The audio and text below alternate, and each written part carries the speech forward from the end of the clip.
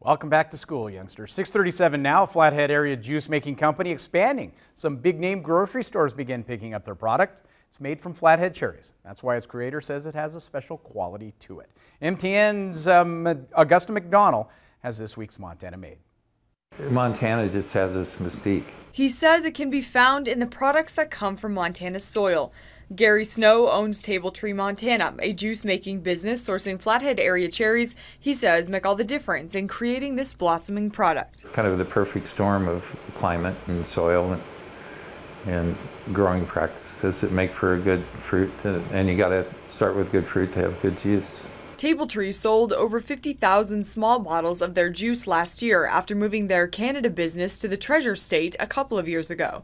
Now the product is growing in popularity. Some franchise grocery stores like Costco plan to pick up more of the large size bottles. Overall, we'll have more to sell. We want, we're really going for like three or four times what we did in the big bottles last year because we found there is a, a good market for those. Their production is seasonal now, but they plan to branch out into apple or even pear juice that can be produced in the winter months. Near Polson, Augusta McDonald, MTN News. By the way, this juice is in local owned grocery stores starting in September. Again, the juice will be sold in several Costco stores statewide.